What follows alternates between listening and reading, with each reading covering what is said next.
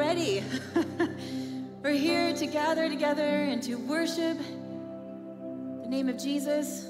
We come and we worship together in community and in fellowship. And you guys hear me say this so many times, but um, it's a beautiful thing that we come and we worship. Not only do we individually lift high the name of Jesus, but as we sing, it's like we're prophesying over one another the truth of who God is, the truth of his name and his character. And so it's this beautiful thing that happens when we come and gather in fellowship and community and lift high the name of Jesus. And so we come expectant that he's going to work because we serve a living and active God. Amen.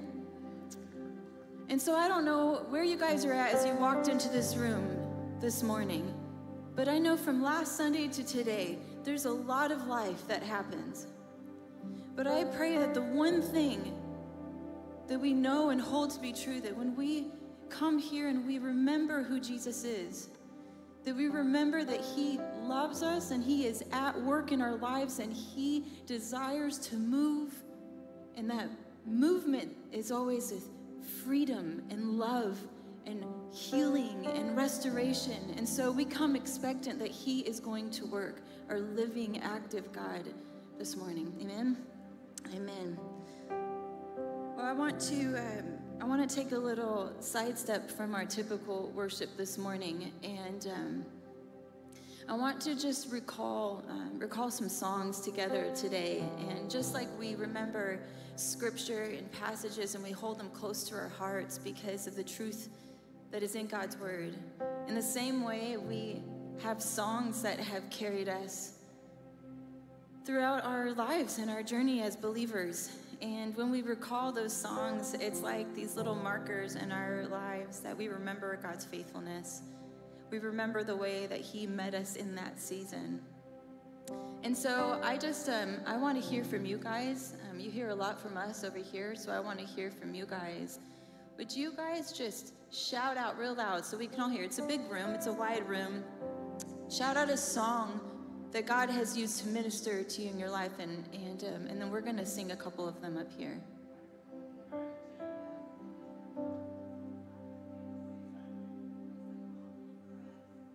Real loud. I can hear a couple of you guys. Real loud.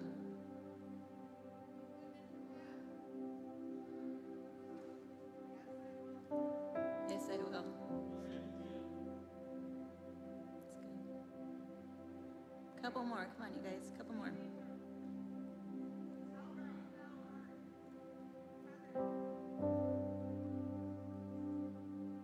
This cool thing that when You even, I'm, I'm sure, even as you're saying those out loud, you can say them so quickly because they're a marker to you. You remember. You remember the way God spoke to you in that, that season, and as He gave you that song, it just washed over the truth of who He is. And what does He do in that? He encourages our faith. He reminds us to direct our eyes back to Him, the one who sees all, the one who sees us, the one who knows all. He sits on the throne. And so, um, we're not going to sing all the ones that you guys. I didn't. I'm not trying to trick you, but um, honestly, I wouldn't know how to play all those songs. So, um, but we're going to sing a couple, and and um, as we were just working through some of it this morning, these are songs that have been markers for me. That I'll just find as I'm doing the dishes, the song will just come into my mind, and. Um, but I love this first one because um, because I, I think it's a great one to just direct our heart, our soul, our mind, and strength back to the Lord. So let's sing together. So here I am to worship. Here I am guys sing it. You're my God. You're altogether lovely.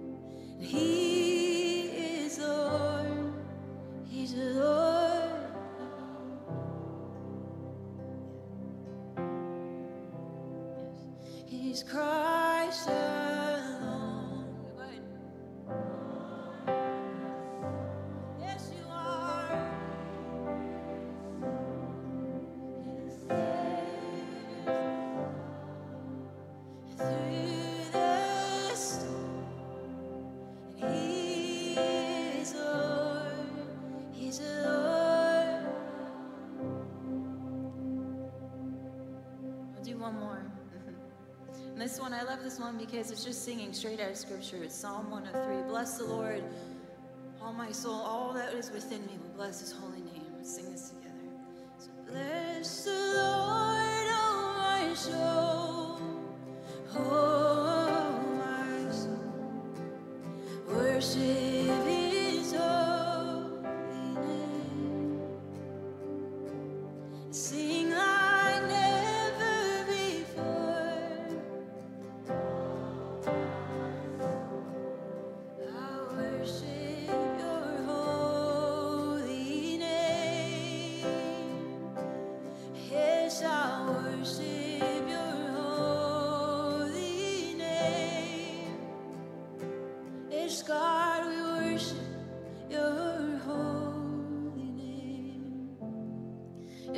Come and worship you this morning, and, and we just slow down a little bit this morning to remember the way that you walk through us in all areas of our lives.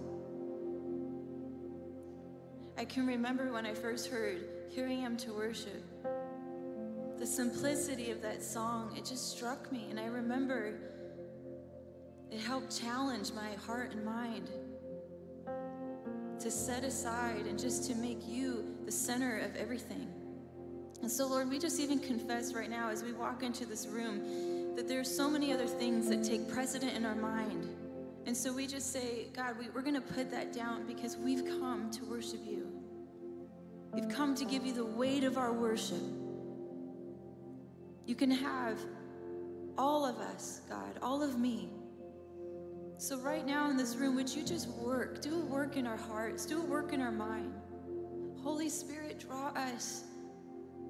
Soften places that need to be softened. And would we remember that, that when we come to you, you are our safe and strong refuge, our tower where we can run to.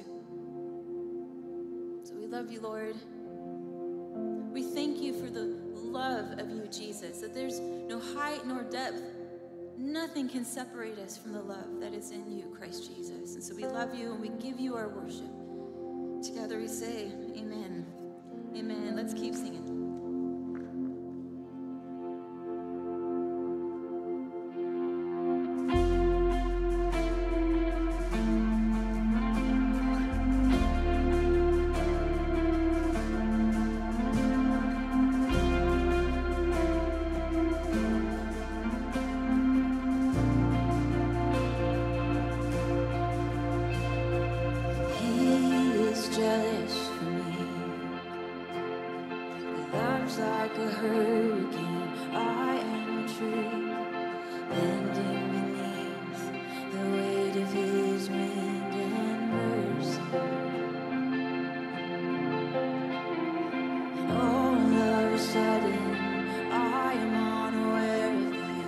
she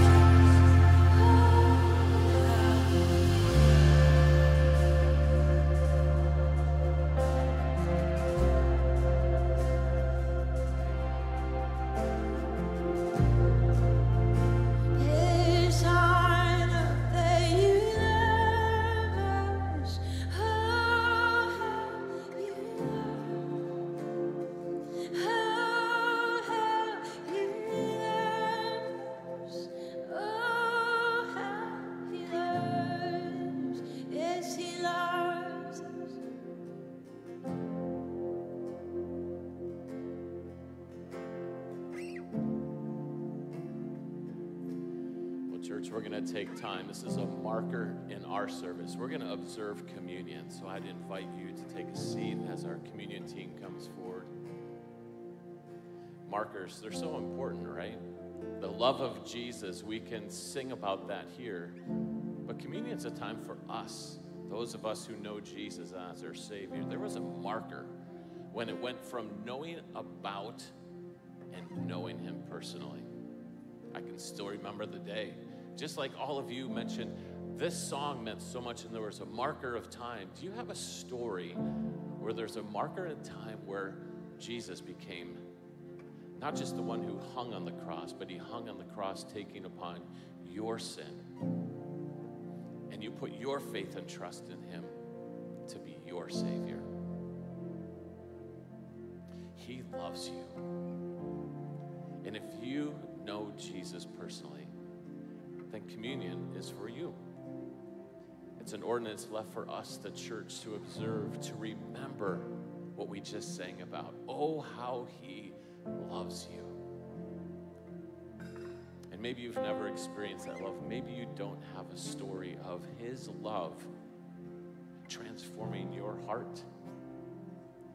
I'd love to have a conversation with you about that after church because this could be the day of your salvation. This could be the marker in your life of Jesus' love in your life personally. I love what the book of Romans says about his love. It says this Romans 5, 6 through 8. You see, at just the right time, when we were still powerless, Christ died for the ungodly. Very rarely will anyone die for a righteous person, though for a good person, someone might possibly dare to die.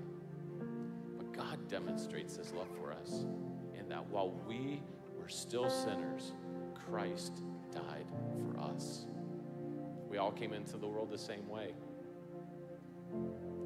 We were dead in our sin, but God, in His mercy, in His grace, and what He offered in salvation, we can be set free and feel and know and experience the love of Christ. So, we're going to sing a couple more choruses as you just take a moment to remember the love of Jesus. And you've been given these two cups. One of the cups has some bread in it. It's a reminder of the body that was given for us, all that He did on that day to take upon our sin. And there's a cup that has juice in it. It's a reminder of His blood that was shed for us that we might have forgiveness. So don't let this moment rush by. The love of Jesus. Let's remember that.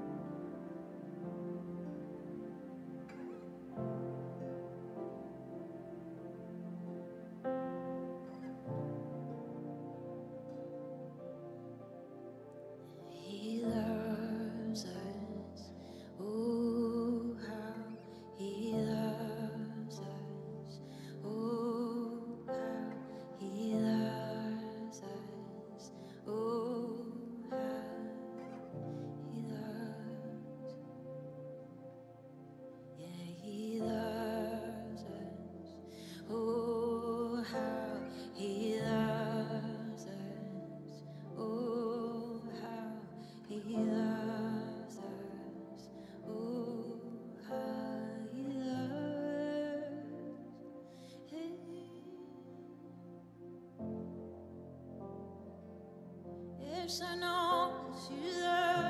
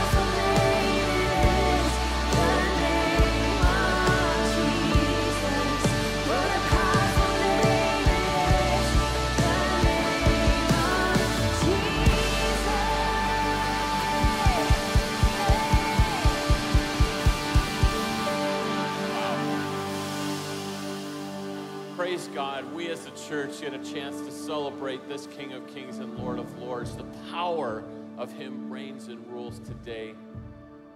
Man, it's so great to be in this church. Well, my name is John. I serve as one of the pastors here. And if this is your first time, I hope that you have found us to be a welcoming church. I hope you found us to be a warm church. And I'd love to meet you afterward.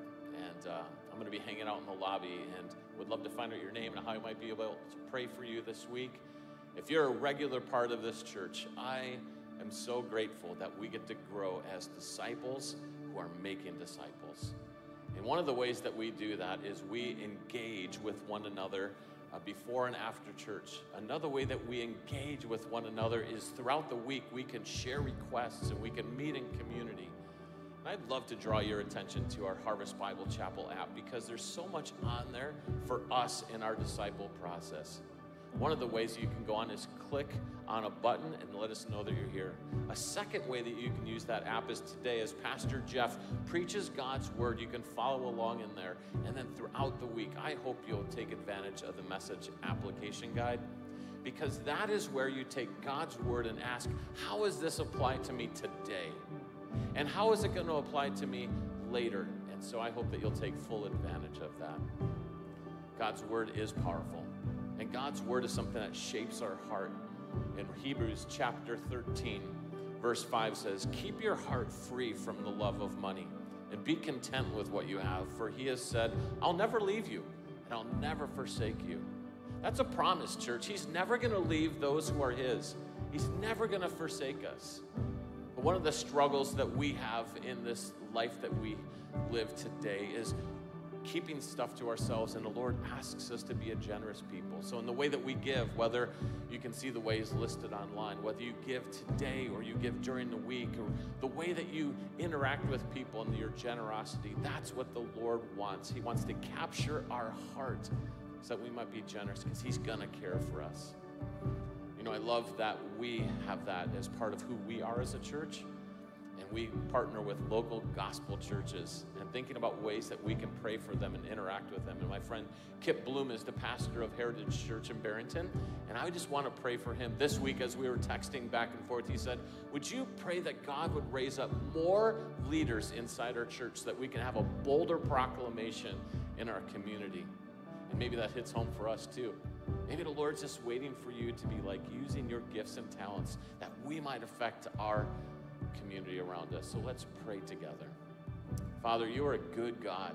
We've been singing about that. We've been rejoicing.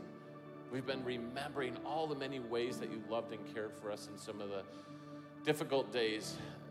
Father, I'm thankful for the way that you've reminded your, us of who you are in our darkest day, and you revealed hope, the hope of salvation. Father, I'm thankful that Pastor Kip is today opening your word and he's going to share that. And would you use that in a powerful way to reach his people? Would you stir in the hearts of those at Heritage today that they might see themselves as your ambassadors and raise up leaders? Just like what you're doing here, Lord, touch our hearts. Help us to see that we can be a generous people in the way that we give, that we can be a generous and gracious in the way that we use our gifts and talents and abilities. So, Lord, use these gifts, use these offerings, use our church partnerships to further your kingdom's work. And it's His great name we pray. Amen. Well, before you sit down, greet somebody by you. Let them know it's really good to see you here today. Then get God's word in your hand.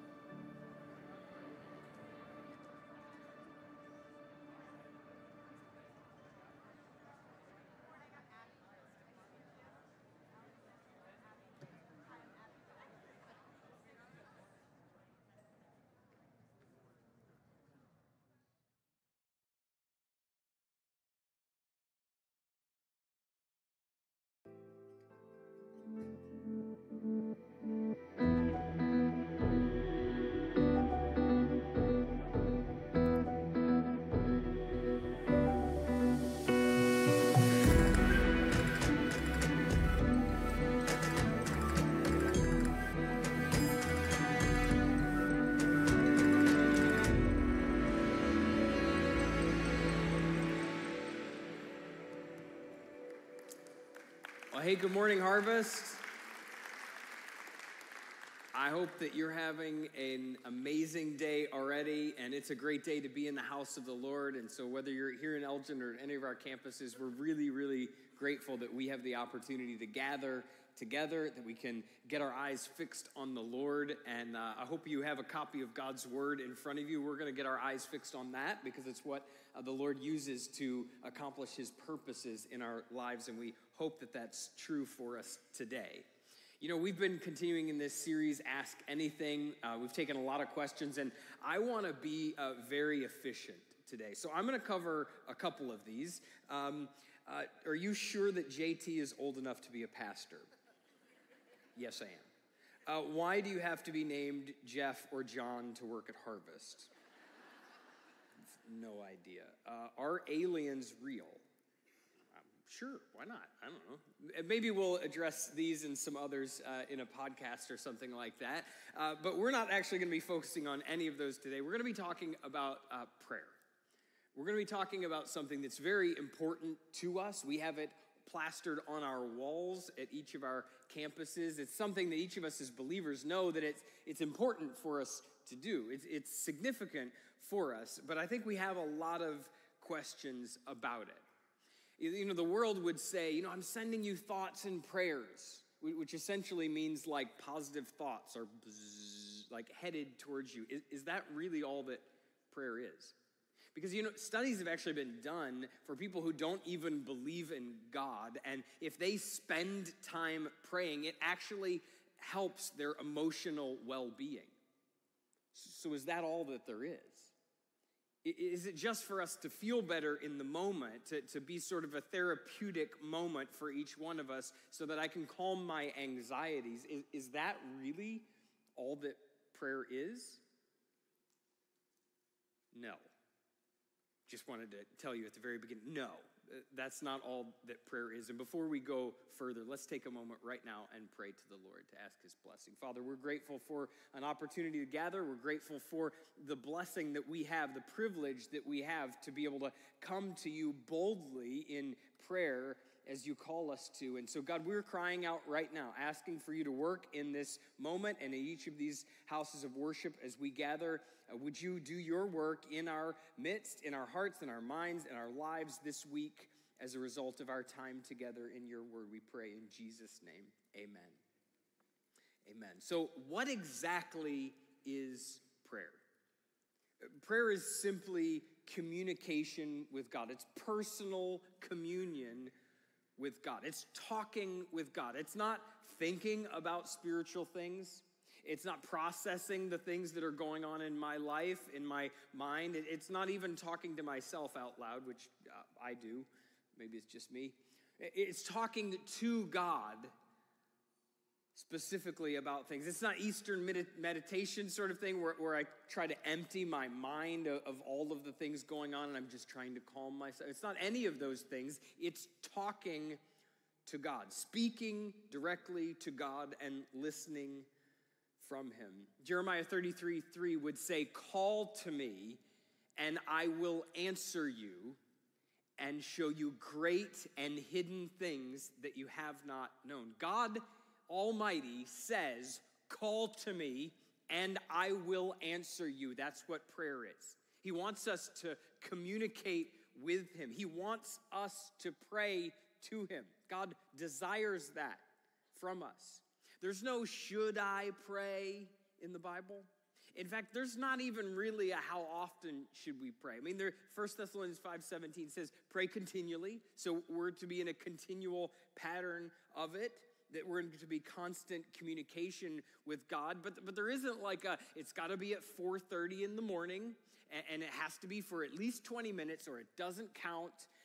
So please, at 4.30 tomorrow morning, while I'm sleeping, feel free to get up and spend 20 minutes. That, that's fine. That, those are all things that, that we've decided are helpful for us. And maybe some of those things will be helpful to you. Maybe it will be helpful to you to, to get up tomorrow morning at 4:30 while the rest of us are sleeping and, and spend some time praying. That, that's great. But that's all things, those are all things that we've added. None of those are prescribed in Scripture. And we've created tons of books and tools to help us with our prayer. We've created the acronym ACTS, you know, adoration and confession and thanksgiving and supplication, that we spend time doing each one of those to help us structure our prayer. And those are good things, but that's all stuff that we've added. If you spend any amount of time in a growth group, you know that there are people who will come to the accountability time and say, like, I just, I really need to spend more time in prayer. I've been neglecting that. And so we know instinctively, we all know that this is something that we want to spend more time doing, that we want to get better at, that we want to communicate with God in more ways. But, but I think prayer is a very big topic. There's a lot of things, as we've already said, there's tons and tons of books and resources that are out there that help us. It's a broad topic that includes our praise to God, our adoration.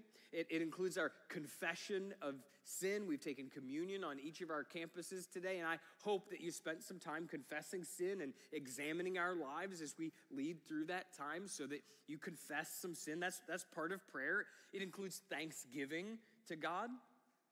But I think what most of us think about when we talk about prayer is the, the concept of petition or supplication, where I'm asking God for stuff. I'm asking God to work and to move in specific areas of my life for, for myself and for others. And so the question before us today is a really important one. If many of our prayers have to do with this idea of us asking God to work, asking God to move, the question really is do my prayers do anything? Do my prayers accomplish anything? Do they, do they even matter? Why wouldn't I just sit back and accept God's sovereignty? I mean, He's at work already. So why in the world would I pray? Why would I ask for things? If God is in charge, if He's sovereign, do my prayers even matter? Do my prayers change the outcome? Does prayer actually change the outcome of our lives? We're going to be looking at Luke 11 today. So turn over in your Bibles to Luke 11 as we focus in on this idea does my prayer change the outcome? And none of us wonders if we should pray. The disciples here in this text don't ask Jesus, should we pray? Instead, they implore Jesus, Lord, teach us to pray like you do. Teach us to pray. So the question before us really is how are we to pray? If our prayers are going to make any difference, do they make any difference? And so, how are we to pray? First, we pray with dependence.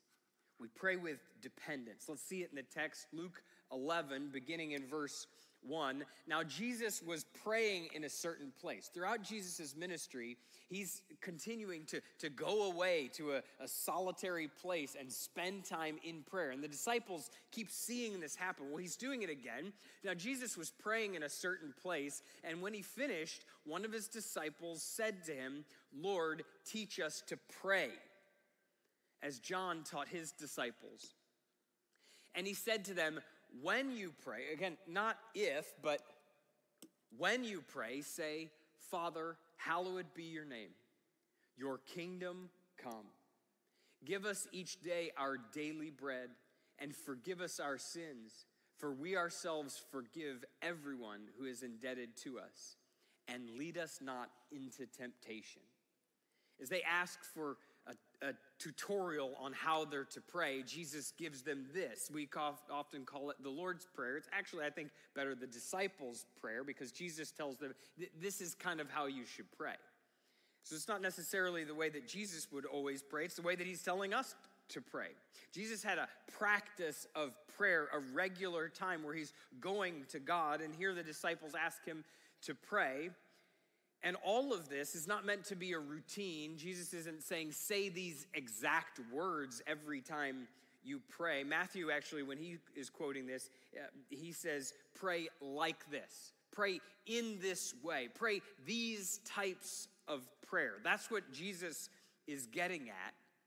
And what he's getting at is pray prayers of dependence. Pray with dependence. Notice the areas in this text that we're to depend on God. First, Father, hallowed be your name. We, do, we are to recognize him as our Father and to desire that he is seen as holy here on earth, that he's treated that way. It- then he says, Your kingdom come. He's a king, we're the subjects, and we desire to see his kingdom reigning here on earth in our midst. Then he says, Give us each day our daily bread. Every single day that goes by, you and I are in desperate need of our Father to provide for us. Oh, you might feel like my, you know, my bank account's doing fine right now, and I have all the things that I need, and everything's good right now. But every single day, every single breath that you have, you need the Father to continue to sustain you. And we forget that often, but Jesus here would call us back to that, to remind us every day we're in need of Him for our provision. And He says, and forgive us of our sins, that you and I are sinners in need of forgiveness. And we get to the point in our walks as Christians, we've been following the Lord for a little while, and we oftentimes forget that I am a sinner in need of a Savior. It's why communion is so important for us, for us to take the time and remember what Jesus did for us, that He alone is our forgiveness. He alone causes us to be forgiven before the Father and to put us into right standing. And you and I need that today as much as we did the day that we came to Jesus. That we're sinners in need of forgiveness. And then he says, and lead us not into temptation. We need protection from temptations in this life, from trials in this world. We need God's provision from all of that. And so Jesus calls us to prayer in this way, in a way that, that recognizes our dependence on God. Over and over throughout the Gospels, when Jesus is going to heal somebody, he continues to ask for what? He asks for faith for that person. Why? Because he wants to see their dependence and their trust in him. It's because faith and dependence are linked. We're to pray in faith, de- declaring and displaying our trust and our dependence on God, that we need you every single day. That's how we're supposed to pray. And he gives us these instructions so that we'll be dependent on God as we pray. And yet, for so many of us, prayer has become such a ritual. I mean, some of us do this. We, we pray the sort of our, our Father who art in heaven, like over and over and over as a ritual, as if saying those exact words will accomplish something magical. Hocus pocus poof, now you have it. And some of us have gotten into routine in our prayers anyway, and we would say, uh, Lord, thank you for this food and for all that you've done for, and we have like this, just this routine and we sort of say it without thinking. That's not what God is looking for. He's not looking for routine. He's looking for dependence. He's looking for you to come before Him in authenticity and with dependence before Him. He's not looking for you to say it exactly like this or it won't work. Like, has anyone else uh, gotten irritated with, with all of the, the requirements around your passwords for a login? Like it's not like that. That you have to be exactly like this. It's got to be capitalized, and it's got to. It, it has to be at least ten characteristics. It, it's got to include numbers and letters, and at least one element from the periodic table. And it can't be any of your previous forty-seven passwords. And oh, just to make sure, it can't be anything that you would ever remember. It's like I end up sitting before my computer, like, it's me, let me in. It's not like that. We don't have to be so precise with all of these things. God doesn't care if you're precise in the word choice and, oh, that prayer sounded really pretty and it was exactly what I wanted. God wants your heart of dependence before Him. Now, I'm not at all against written prayers. Uh, we write out prayers lots of times for our worship gatherings because it, it helps stir our hearts. It helps direct us. I actually love uh, books of written prayers, like the Valley of Vision, a Diary of Private Prayer, Every Moment Holy, the Book of Common Prayers. There are tons of them.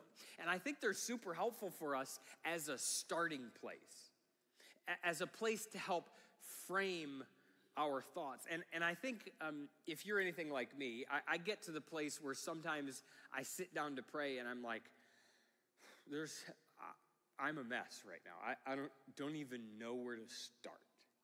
And those things really help me. So I'm not against the, the written prayers like that, but I, I think that's, that's a beginning place, that's not the ending place. And that's not what God is looking for, for us to sort of just recite some incantation and suddenly we get what we want. It shouldn't be all that there is. God wants our hearts. God wants genuineness from you in prayer. He wants you to come before Him as a child to a father and pray with authenticity and with dependence on your loving Heavenly Father. Parents, what is more uh, meaningful for you to get as a card? A professionally made card that's well written and it's got a nice little saying in it, and they picked it out from the aisle at Target. What's more important to you? Something like this or something that's authentic, that's from your child? And, and, and maybe the, the spelling isn't right all the time. And, and maybe you're not sure what that word is, but, but I'm telling you, if, if you're a parent, you know the authenticity, the genuineness is worth way more to you than the words that are spelled right or the, the ink that is just within the lines or all of those specific things. God wants our authentic, authenticity and He wants our dependence on Him as our Heavenly Father. Matthew 6 8 would tell us, Your Father knows what you need before you even ask Him. Like, God knows what you're bringing to Him in prayer, but He wants you to ask Him. He still says, Call to me and I'll answer you. He still wants you to come before Him as a child to a, a parent and say, God, I need you. And my life is a mess right now, and I don't know what's going on in this situation, and I don't know what to do here, and I don't see a way forward. God, please provide for me today. God wants those types of prayers. He, he wants us to have authenticity before Him. And I'm telling you, there's incredible freedom in that place of prayer. When you can feel like I don't have to say all the right words, I don't have to impress anybody, it doesn't have to be a specific way, it doesn't have to sound right, it doesn't have to, like maybe you shouldn't swear in your prayers. That's kind of like a weird thing to me, but I don't know, but be authentic to the Lord. There's a, there's a freedom of that, like a child with their daddy, like, help me. God wants that. He wants there to be a freedom in the way that we approach Him. In, in, in fact, uh, let's pray again right now. Okay, now don't get mad at me. We're not actually going to pray together right now. Um, what did every one of you do when I said, let's pray? Most of us closed our eyes and we bowed our head. Now, why do we do that? Why do we bow our head in prayer? I mean, most of us just do it instinctively. It's like, oh, oh that's what we're doing. Okay, great, great. So we, we bow our head or, or we kneel in prayer because of that. Every single person does that. And we do that to show our reverence for God. We do that because He's the king and we're the subjects. We do that because He is perfect and holy and righteous and lifted up, and I am not. And so I am down here, bowing down. It's, it's a physical posture that shows my dependence on the Lord, my reverence towards Him. And God would desire that we would do that not just with our eyes or our head or our knees, but that we would do that with our hearts, that our hearts would be given over in reverence, in dependence to God. So when you pray, pray with dependence. And secondly, pray with persistence. Pray with persistence. Jesus continues to teach his disciples here how to pray. And he says, Luke 11, beginning in verse 5, and he said to them, Which of you who has a friend will go to him at midnight and say to him, Friend, lend me three loaves, for a friend of mine has arrived on a journey, and I have nothing to set before him? And he will answer from within, Do not bother me. The door is now shut, and my children are with me in bed. I cannot get up and give you anything.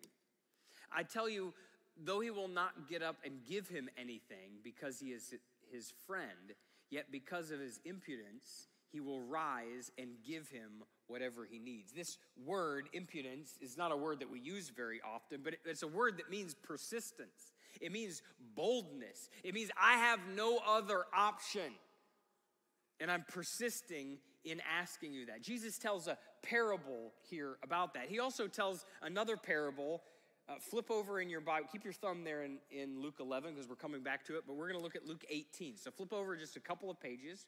Jesus tells another parable about this same word, about this same idea of persistence. Now, I am uh, not the sharpest knife in the drawer, and I love it when uh, scripture writers tell us exactly what they're trying to say. This one, one of the reasons I love the book of First John, because over and all, over and over, he's like, "I have written this so that."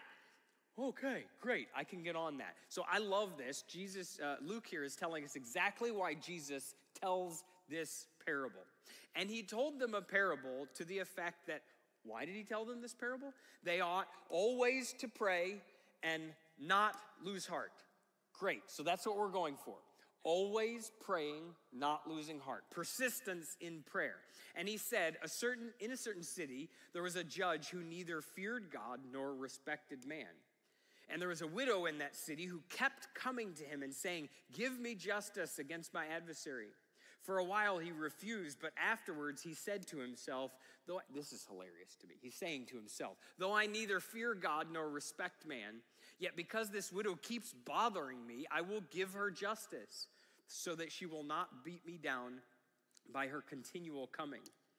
And the Lord said, Hear what the unrighteous judge said. And will not God give justice to his elect who cry to him day and night, who persist in prayer? Will he delay long over them? I tell you, he will give them justice speedily. Nevertheless, when the Son of Man comes, will he find faith on earth? We're told to call out with persistence, with boldness, with impudence. Do you call out to God that way? God, I have no other option. God, you, you need to answer me here. I need you to work in this situation. If you don't come to my rescue, I have nothing. That's how God desires that we call out to him. Do you cry out to God that way? When he would say, Call to me and I will answer you and show you great and hidden things that you have not known, are you calling out to God in a persistent way? And if not, what keeps us from calling out with persistent boldness before the Lord? Two things. Either you don't believe that you really have a need. I mean, I've got things under control. I, yes, of course, I need the Lord. We would sing that, so I need you every hour, every hour I need you. Yeah, I, I, I know, I, I, I need the Lord. But I mean, really, if you see my 401k, everything's fine right now. We're, we're doing good. We, we, everybody's healthy. We're, we're, we're good. You, you, you believe that you don't actually need the Lord. I, I've, I've got it. It's either you believe you don't, you are not in need, or you believe that calling out to God won't make any difference. You see, we pray very little because we believe very little will happen in prayer. And that's very true of some of us. That we, we yes, I, I know that God wants us to pray, but, but really, is, is it going to make any difference? Why does the Lord want us to cry out with persistence? Why wouldn't He just answer right away? One time. Great. Yep. You're at the drive through, you give your order. Here's your Big Mac. Just immediate. Why wouldn't God do that? Why does He want us to call out with persistence? Because He tells two parables about it when we're talking about prayer. He wants us to call out with persistence because it draws us to greater dependence on the Lord. What does it do? It grows our faith. That's what he's after in you and in me. That's why he delays. That's why he wants you to persist in prayer so that your faith will be grown, so that you will grow in your dependence on him. Sometimes the Lord is preparing you for what he's going to do already. But he wants you to be ready to receive that. God is going to provide for your finances, but maybe he first wants you to learn to spend less than you make.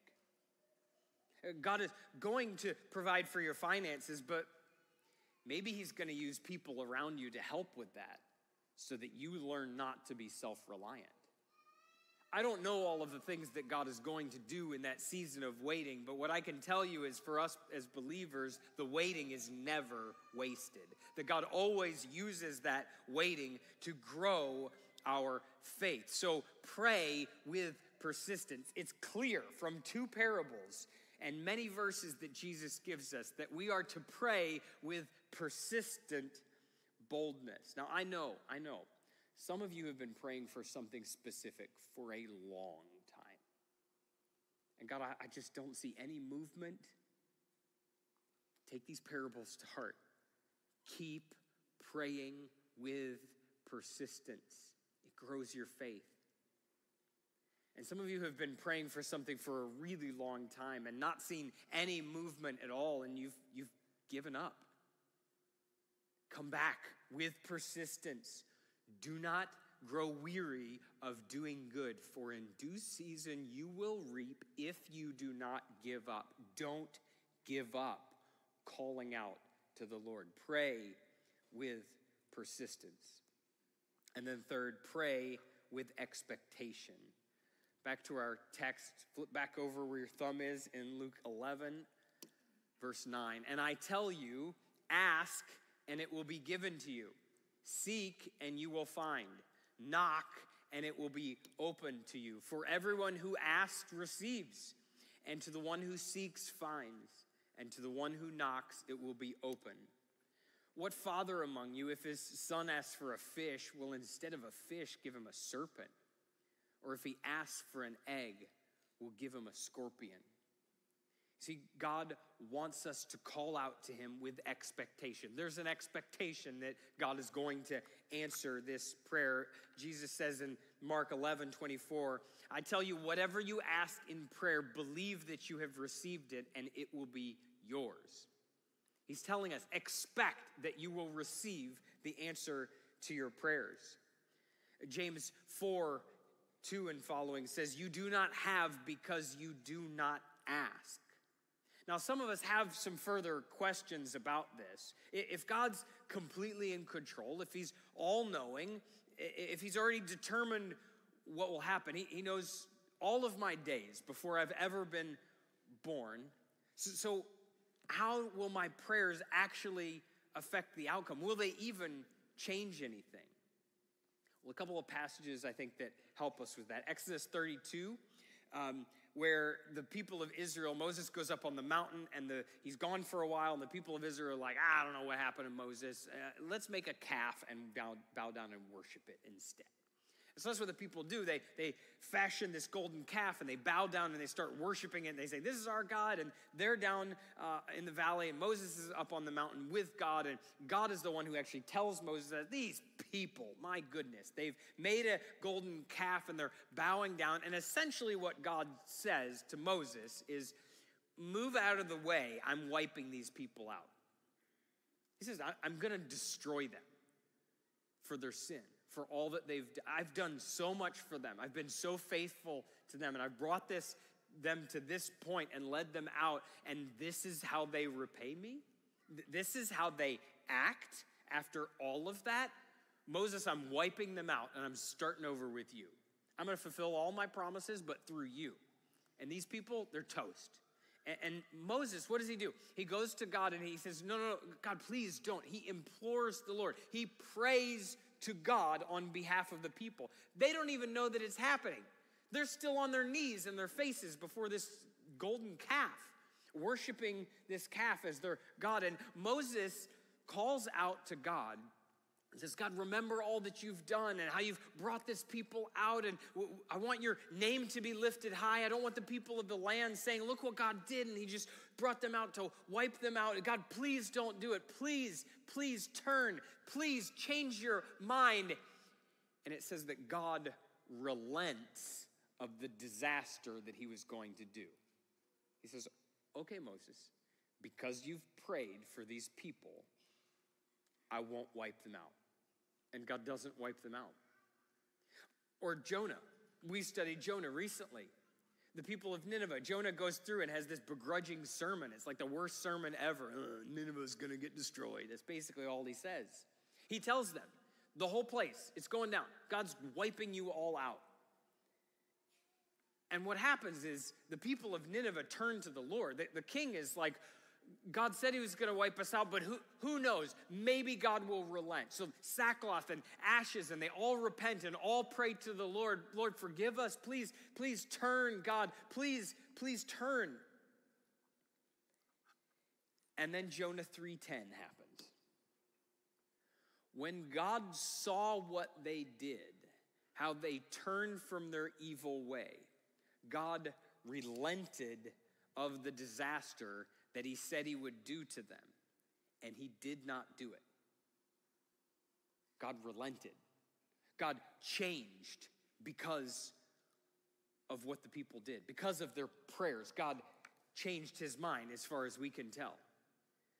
So, do prayers have an outcome in things? You bet you they do, because those people would all be dead.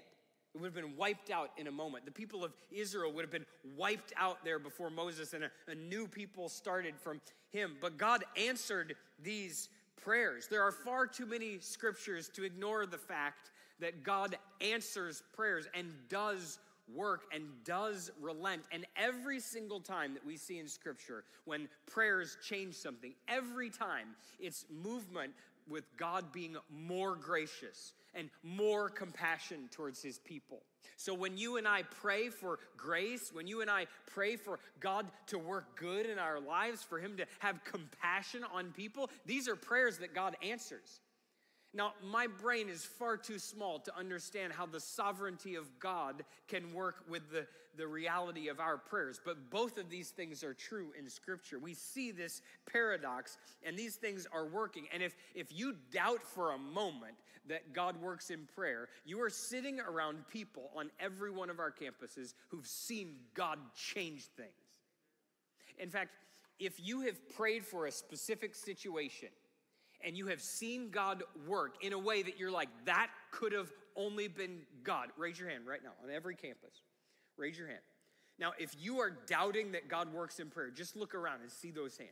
See the countless people around you who have seen without a doubt God work in their lives. There was going to be destruction, and I prayed, and God brought compassion. It happens every day because we pray. So God is sovereign and He's working His secret will, as we talked about last week. He's working all things to the purpose of His will, but He's using your prayers to do that. So pray with persistence and pray with expectation that God is going to move and He will move. You know, this September, we're celebrating 35 years as a church we're amazed at the things that we've seen God do throughout the years. We've had buildings given to us because we prayed. We've seen God protect us in difficult seasons because we prayed. We've seen the Lord provide in seasons that we didn't see a way forward because we prayed. We've seen addictions broken because we prayed. We've seen marriages restored because we prayed. We've seen prodigals come home because we prayed. We've seen people healed because we prayed. All because we called out to Him to show us great and mighty things that we have not known. And we've seen God do it, lest we forget His faithfulness to us. His, our prayers to Him change things, and we've seen it. And more than any of those things that I've listed, we have seen people turn from the darkness of their sin to the light that's found only in Jesus Christ because we prayed. Every single one of the baptistry tanks on every single one of our campuses has had water in it as we've baptized people who've turned from their sins and trusted Jesus Christ by faith because of prayer because someone was praying for that person, you better believe that God works when we pray. So pray with expectation.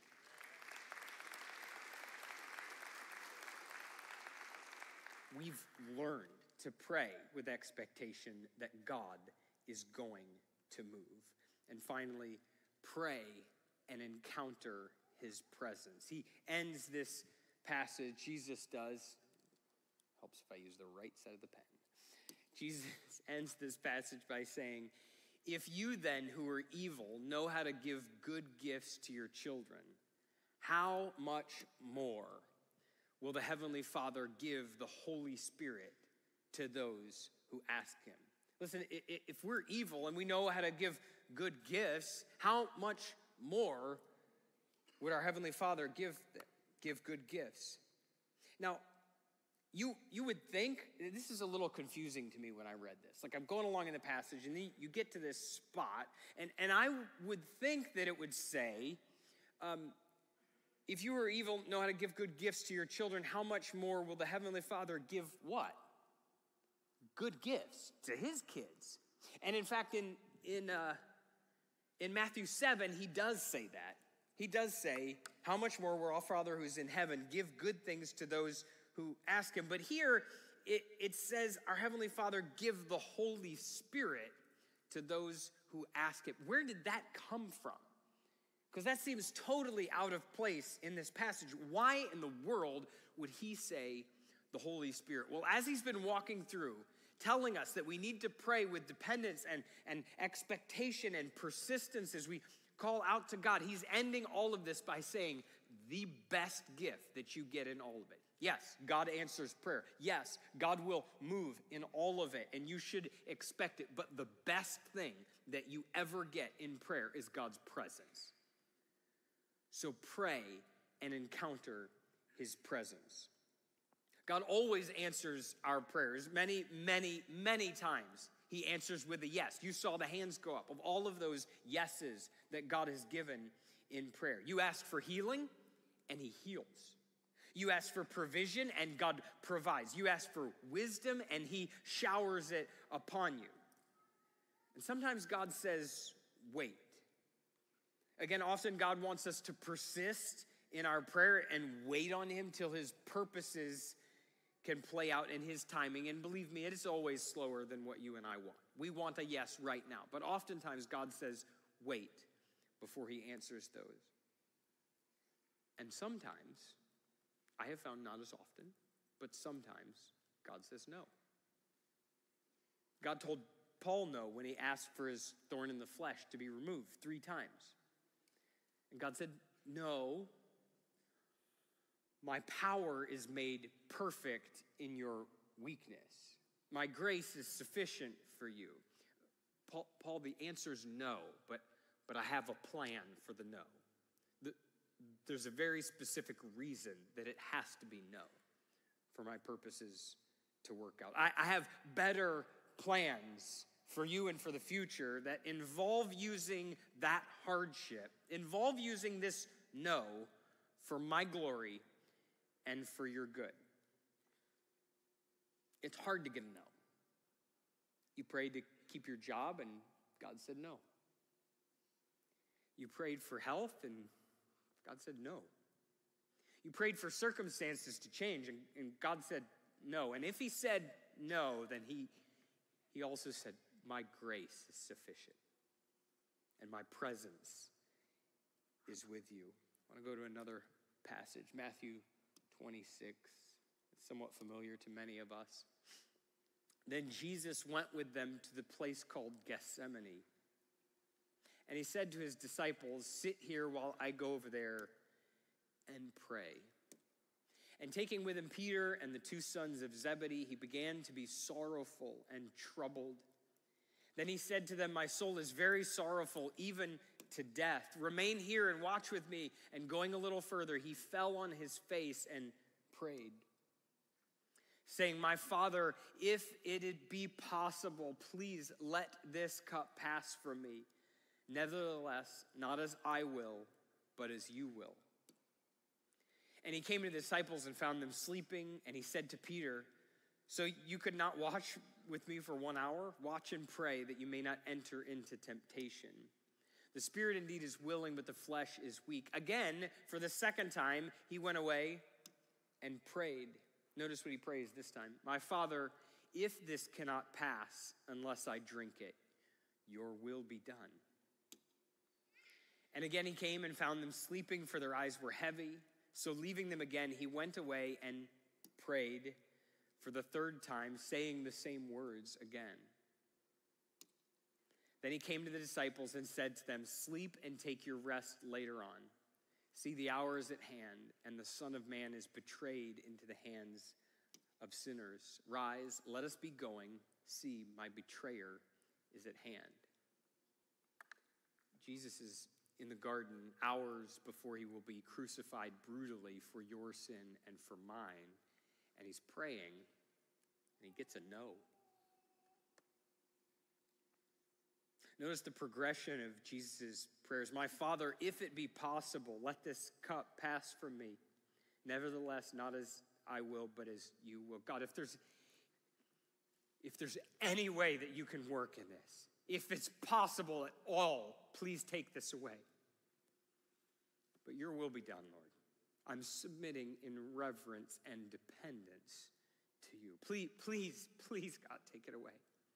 But if you can't, Notice then he says, My Father, if this can't pass unless I drink it, your will be done. You can see Jesus start to realize that he's getting a no. If this is the only way, Lord, okay. Prays that again. And then you see that he ends this whole account with a full acceptance that he got a no. Rise. My betrayer's coming right now. I'm not hours away, I'm minutes away from the pain. And Jesus willingly steps in to the no because he knows that grace is sufficient for him. He knows that God is working and it is the only way. Is that no? Last verse for today. Hebrews 5 Speaking of Jesus, in the days of his flesh, Jesus offered up prayers and supplication with loud cries and with tears. Jesus is in the garden crying out with volume, with tears of blood coming down his face. He cries out with loud cries and tears to him who was able. Could God have done that? Could God have taken the cup away from Jesus Christ? Absolutely. But it was the only way for your salvation and for mine. And so God said no. He was able to save him from death, but he was heard because of his reverence, because of his dependence on God, the Father. Although he was a son, he learned obedience through what he suffered. You see, prayer got to the point, even though he got a no. Prayer brings dependence. It brings a display of our reverence before the Lord. It stirs our faith, and we see Jesus' obedience even when he could have chosen something different. Our prayers can affect the outcome, but more than anything else, the answer to our prayers is a closeness with the Father. It's understanding his ways.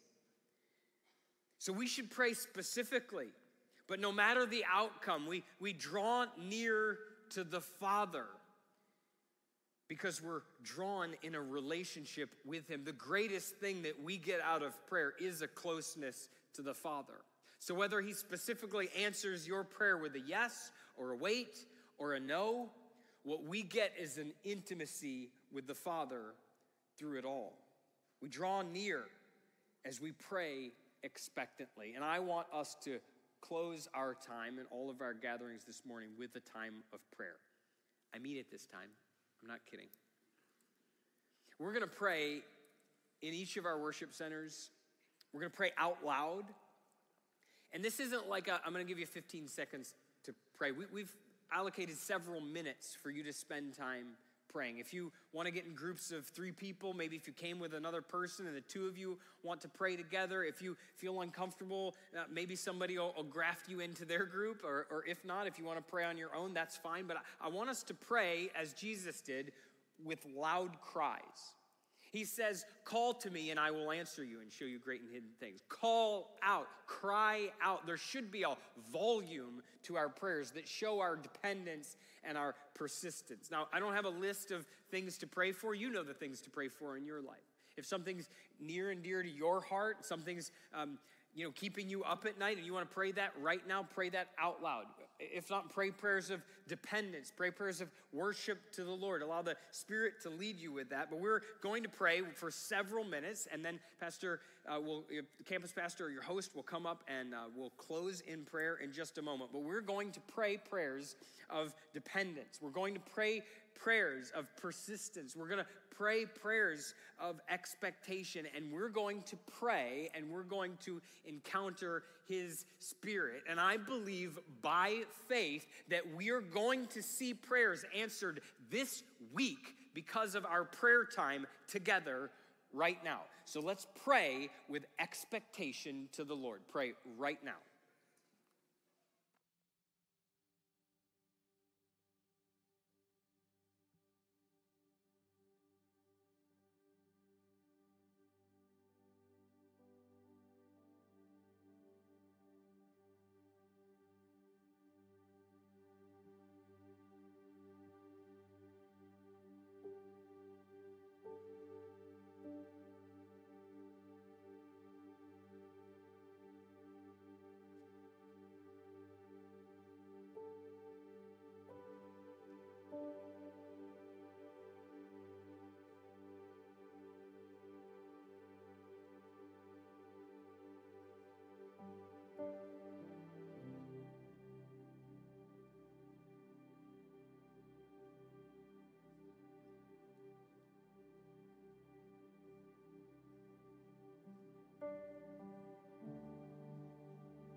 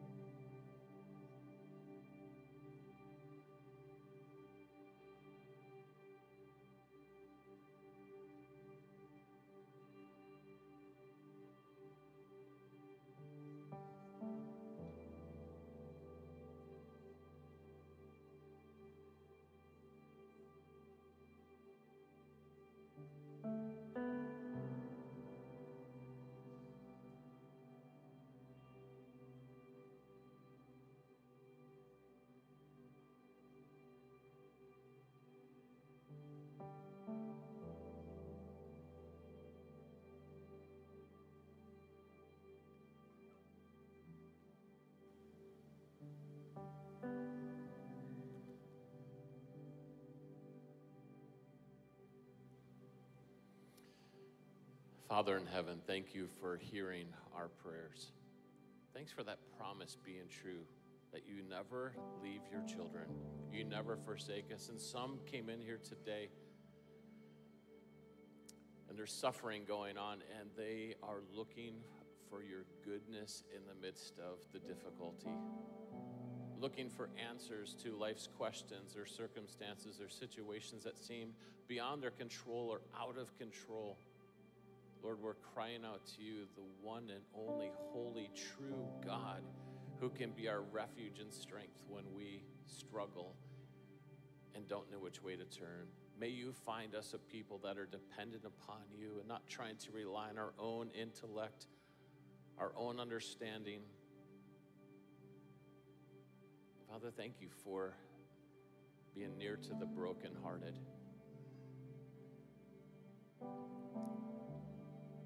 Father, some of us have come in here today and are just looking for what it is that you have to be our next step to honor you. Others have come in here today and their family situation is not what they expected it to be. So I pray that they would be able to see how they can make an alignment position. For some, it's their finances have spun out of control and they're looking for your guidance. Lord, would you give them hope? Others heard some news today about their physical condition that it just reminded them of their frailty. But that the goodness of the Lord can be with them in their time of physical challenge. We're asking for healing, Lord. We're asking for you to be a God who can do the impossible. Father, for some, it's looking for spiritual understanding. So I'm thankful that Paul writes that if we lack wisdom, you give wisdom and discernment and spiritual understanding. I'm thankful for James when he wrote in his book that if we lack wisdom, let him ask of God who gives to all men generously and without reproach, and it shall be given. But Lord, grow our faith, grow our dependence, grow our expectation that you will show up. And Father, when we hear no, help us to remember that your grace is sufficient. Lord, hear the cries of our hearts today. And would you see us as your children, fully dependent, fully devoted, all in for wanting you to receive glory? Thankful for the way that you're going to show up in each of our lives today and the rest of this week as we come to you with our burdens and lay them at your feet. Thank you for being a comforting God, a God who gives peace. We love you. And it's in Jesus' name that we bring all these requests before you. Amen.